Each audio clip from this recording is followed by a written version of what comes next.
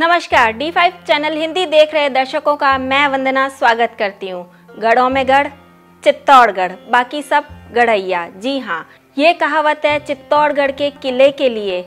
भारत का एक ऐसा किला, जिसको विश्व विरासत स्थल समिति द्वारा 21 जून 2013 में यूनेस्को विश्व विरासत स्थल घोषित किया गया, तथा जो विश्व संस्कृति की दृष्टि से भी मानवता के लिए महत्वपूर्ण है।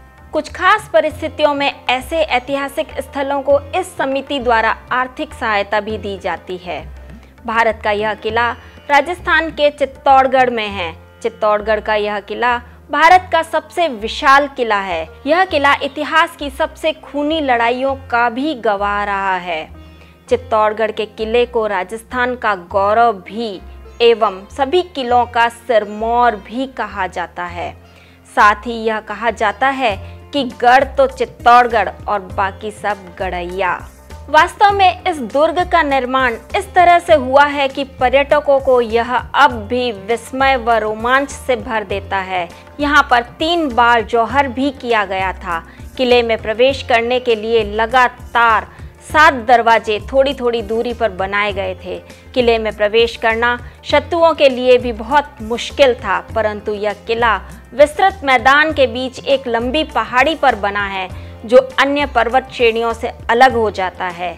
इस कारण शत्रुओं द्वारा इस किले का घेरा डालकर किले में इस्तेमाल होने वाले राशन को पहुंचाना रोक दिया जाता था।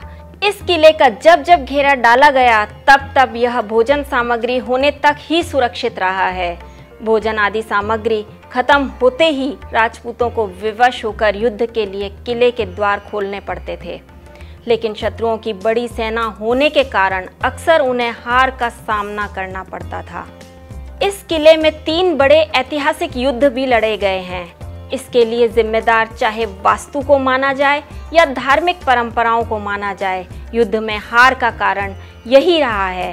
पहला ऐतिहासिक हमला तब हुआ था जब सूर्य देवता की सोने की मूर्ति को हटाकर माँ काली की मूर्ति को स्थापित किया गया था।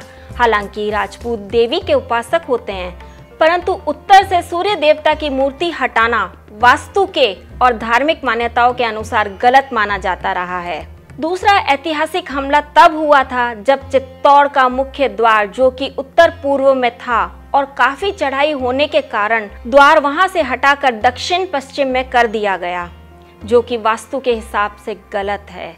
इसके बाद जो युद्ध हुआ, उसमें भी हार का सामना करना पड़ा था। इसी तरह तीसरे युद्ध में भी हार होने के कारण यह किला फिर कभी आबाद नहीं हुआ। जबकि यह इकलौता राजवंश है जो 1400 सालों तक कायम रहा है। किले में प्रवेश के लिए सात द्वार से होकर जाना पड़ता था, जिन्हें पोल कहा जाता था। हर पोल का एक अलग ही नाम है और एक अलग इतिहास भी जुड़ा है। पांडन पोल। पांडन पोल किले का पहला प्रवेश द्वार है। यह भी कहा जाता है कि एक बार भीषण युद्ध में खून की नदी बहने पर एक पाडा, यानी कि भैंसा बहता बहता यहाँ तक आ गया था। इसी कारण इस प्रवेश द्वार को पाडन पोल कहा जाता है। किले के प्रथम द्वार पाडन पोल के बाहर ही एक चबूतरे पर रावत बाग सिंह का स्मारक बना हुआ है।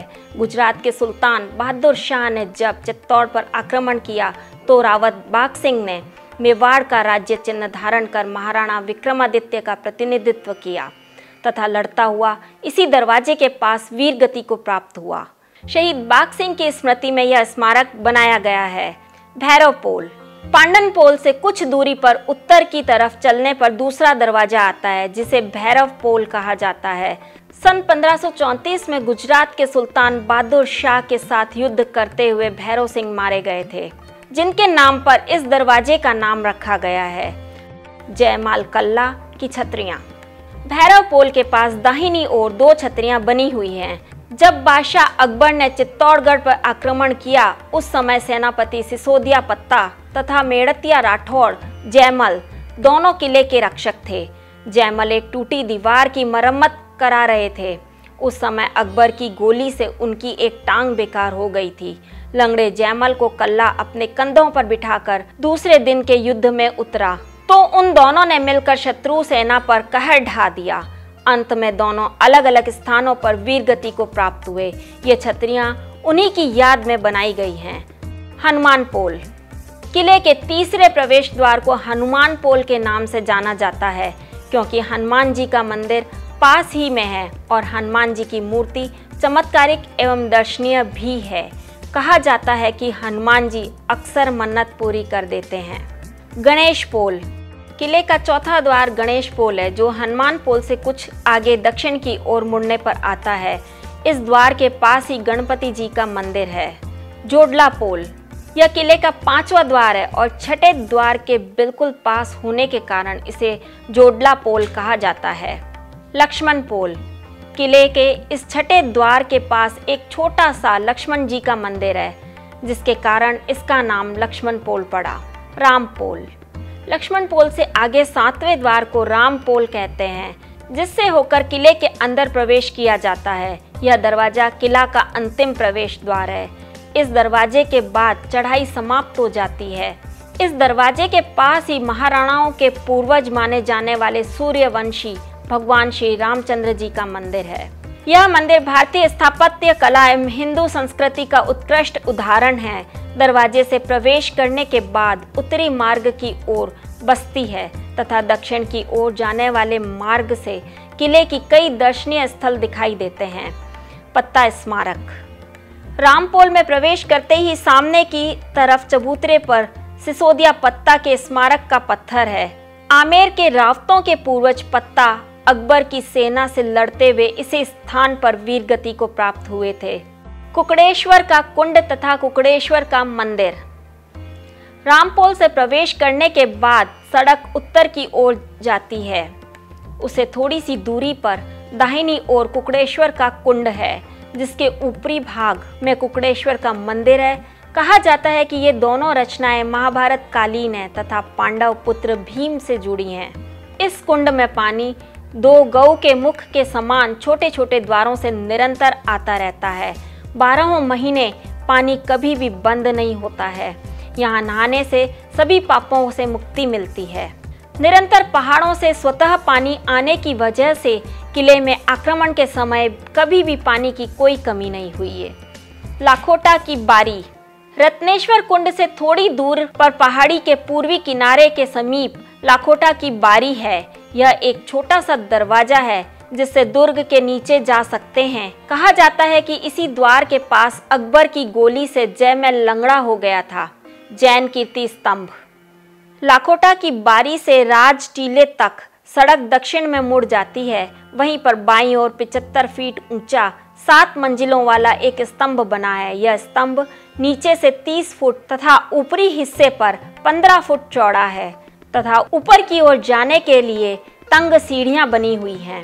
इस पर आदिनाथ की पाँच फुट ऊँची दिगंबर जैन मूर्ति खड़ी है तथा बाकी के भाग पर छोटी छोटी जैन मूर्तियाँ खुदी हुई हैं। इस स्तंभ के ऊपर की छतरी बिजली गिरने के कारण टूट गई थी तथा इससे इमारत को बड़ी हानि पहुँची थी। महाराणा फतेह सिंह जी ने इस स्तंभ की मरम्मत करवाई। महावीर स्वामी जी का मंदिर। जैन कीर्ति स्तंभ के पास ही महावीर स्वामी जी का मंदिर है। इस मंदिर का जीर्णोद्वार पुरातत्व विभाग ने पुनः किया है। मीरा का मंदिर। यहाँ मीराबाई का भी मंदिर है, जिसमें कृष्ण की प्रतिमा है।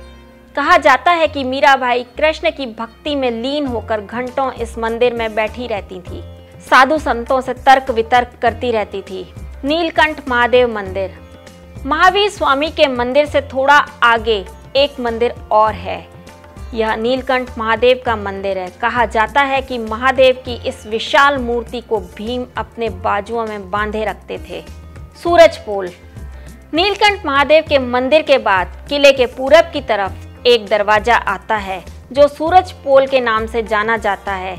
यहाँ इस किले के नीचे मैदान में जाने के लिए एक रास्ता बना हुआ है। इतिहास में इस विरासत का अपना अलग ही महत्व रहा है। अब यूनेस्को ने भी इसे विश्व विरासत स्थल घोषित कर दिया है। यह थी जानकारी चित्तौड़गढ़ के किले के बारे में। आपको यह जानकारी कैसी लगी, हमें कमेंट बॉक्स में ज़रूर बताइएगा। ऐसी ही अन्य जानकारी के साथ फिर से आपके रूबरू होंगे। तब तक के लिए धन्यवाद।